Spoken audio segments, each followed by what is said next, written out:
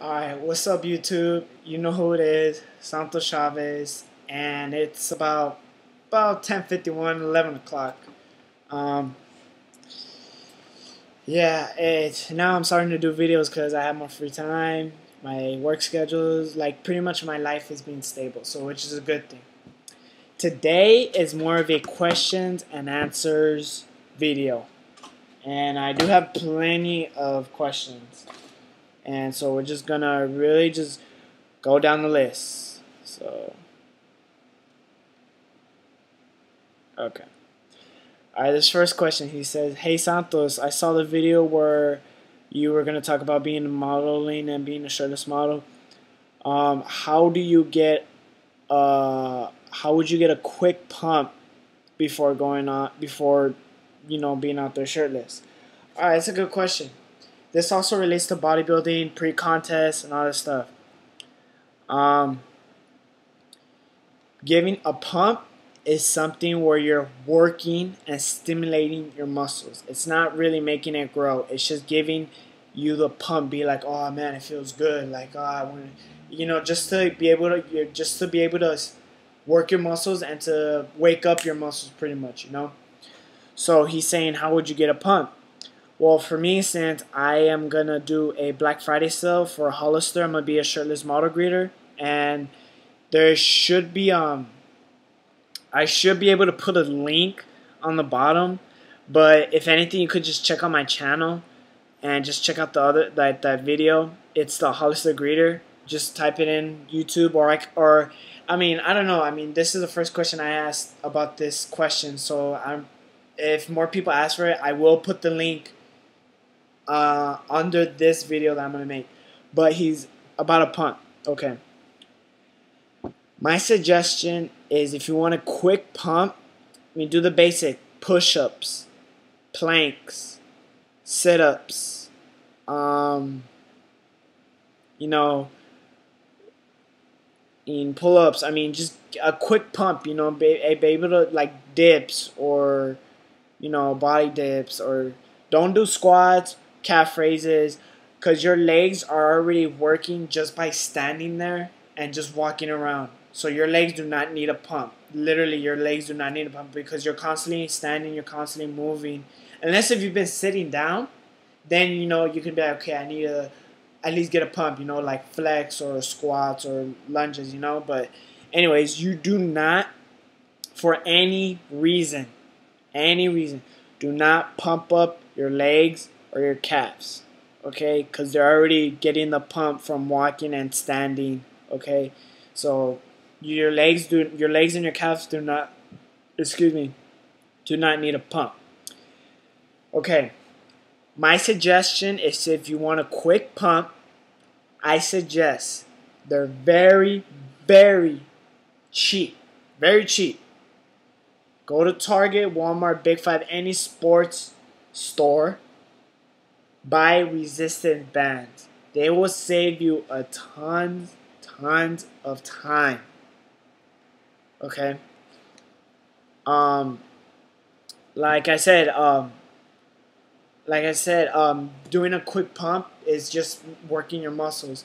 So when you're doing a resistance band, you do you could do bicep curls, you could do uh, side laterals, or you could do um, rolls or you could do pull downs or you could do push-ups having resistance you know? You can you can do so much with the resistance band like you could think of you could think of uh think of anything you can do in like that instant like okay I need to work on my chest so I could either connect it to something and do flies or do crossovers or do push-ups with the resistance bands or I, I need to do my shoulders so I'll do side raises or shoulder press or front raises. You can do so much so to answer your question, how do you get a quick pump? For body weights, do body weight movements, or you could do resistance bands. Okay. All right. This other questions I got. It says, "Hey Santos, um, I know I can tell you were very skinny and you probably didn't have really good genetics, but when you started to bulk up or started to realize you had results, what was your next move?" Okay. Me, I'm different. I am unique. And I'm going to tell you why. Not just because I'm saying it, it's because I'm telling you. I did not bulk up when I started working out. I didn't focus on getting big. I focused on getting cut. So I did I did medium between medium to modern weight but with a lot of reps, but with few sets. The most sets is probably 3. But um see that was me. I focused on getting cut because I wanted my muscle to show. That was me. That was my game plan, and it has been working for me. Okay, that's all. That's all I could tell you. Um. So, pretty much, honestly, the only, if I were to honestly say, the only times I did three sets were to be my calves, my lower back, and my traps when I was when I was a beginner, you know, and finding out what my next move was. Those are the only ones I did three sets. I was just focused on getting cut. The most, the minimal reps I did was 30. The maximum reps I did was 100. Yeah, that might be stupid, but that was me. That was my game plan. Anyways, um, my next move after I got my muscle shown, I was like, okay, I'm gonna start focusing getting bigger. So what do you do when you get bigger? Obviously, lift heavy weight, less reps. Sets between three to four. Increase the weight and decrease the reps. And I've been doing good so far. It's been working out for me. I've been able to lift heavy weight and you know it's it's been working for me. So that was my so I can't really tell you because I wasn't in that phase in bulking and then cutting down. I wasn't into that. I was into cutting first, like showing my muscles, getting my muscles there, like be able to show my cuts, you know? Then I was focused on getting bigger. So, I mean, I can't really help you there, but my best thing is cut down. It, no, not cut down. Cut down the weight but do more reps so that way you could stimulate your muscles but also you're working the muscle because you're doing with good form not just standing in one direction you're actually moving it like if you're doing chest press a lot of people go like this they're not really doing anything but since you want to cut now since you're bulking and you want to cut down at least you gotta you gotta squeeze, okay? Or even shoulder press. Like you see people when they're trying to cut up, they go like this. Don't try to do that. Go up, and that's pretty much it. You know, just when you're cutting up, bulking, yeah, you have to have a power form. I understand that. When you're cutting, make the reps count. Every single one of them. Take me for instance. My minimum rep was 30. My highest rep was 100. That's just me. So, I mean, I can't really help you there, but that's all I can say is now since you're bulking up and now since you want to know where your next next move is, if you want to start cutting down, is decrease the weight, but focus more on your form and how many reps you do each set. Then from there you could increase the reps or increase the weights, but try to keep it in the sets between 3 to 4 and that's it. Okay, so that's all I can say. Um, I have this other question. He's like, okay, this one's kind of funny. Okay, here's this other one. He's like, hey Santos, what are some good shoes to wear? And comment or message me ASAP. Alright. Shoes. Um, honestly, my brand is Under Armour. I don't wear Nike, Adidas, Reeboks. All I wear is Under Armour. But this has worked for me. This has worked for me since day one. Whenever I train legs, whenever I do squats, front squats, leg press, one leg press, um, hack squats, um, what else? What else? What else? Calf raises. lunges.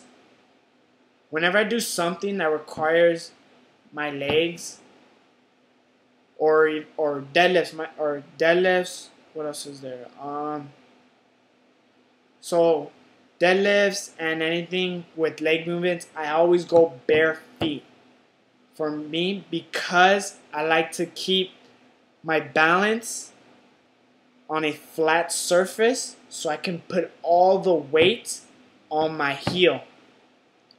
You notice some shoes now, their heels are either too low, like some of the heels are like too low, or some of them are way too high.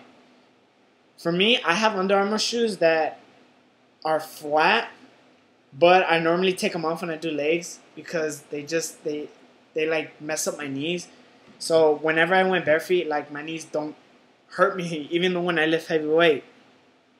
But um, that's my suggestion is if you want to get shoes like brand new shoes, be like Chris Jones, Nick Wright, or Matt Ogus, or I think Tiger Fitness has them too. I'm not really sure, but they all some of them, I'm not saying all of them. Some bodybuilders, some, I mean, just some, but I'm naming some that I've seen, that I have seen.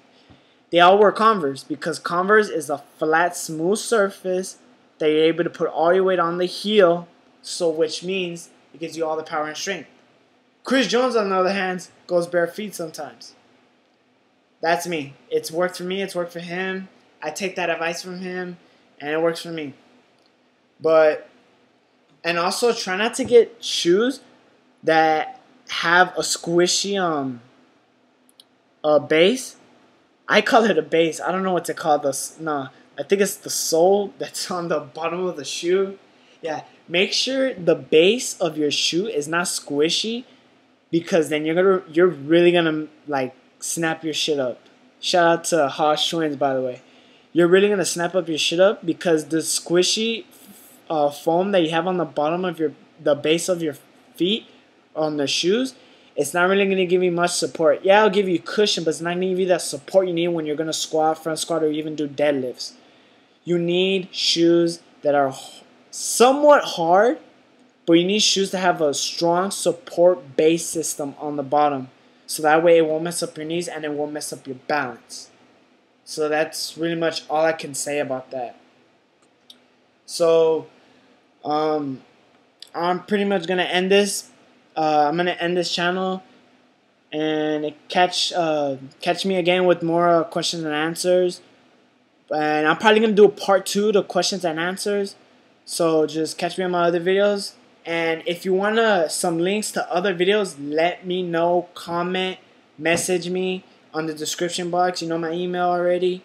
Just comment me whatever you guys want to know or ask. Don't be afraid, okay?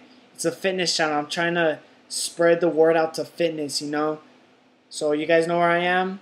It's SAC4 Muscles on YouTube. Or, you know, just find me and message me and comment me, whatever you want. Rate it, like it. And I'll catch you guys later. Peace.